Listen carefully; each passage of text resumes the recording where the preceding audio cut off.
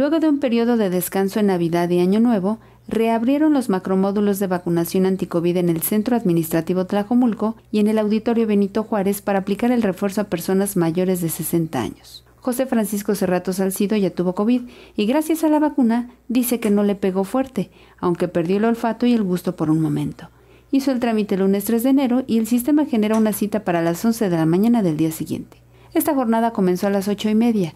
El secretario de Salud, Fernando Petersen Aranguren, realizó un recorrido para supervisar la jornada de vacunación en el auditorio y allí invitó a la población a recibir su tercera dosis.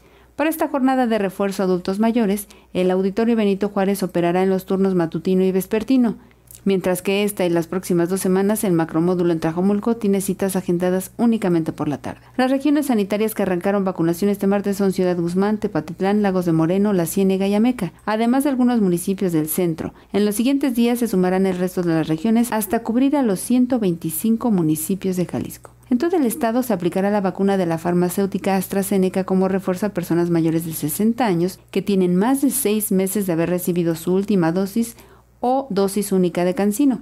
La plataforma estatal vacunación.jalisco.gov.mx tiene citas disponibles para residentes del área metropolitana de Guadalajara de este grupo de edad y también para segundas dosis en adolescentes de 15 a 17 años vacunados antes del 11 de diciembre de 2021. Para señal informativa, Elizabeth Ortiz.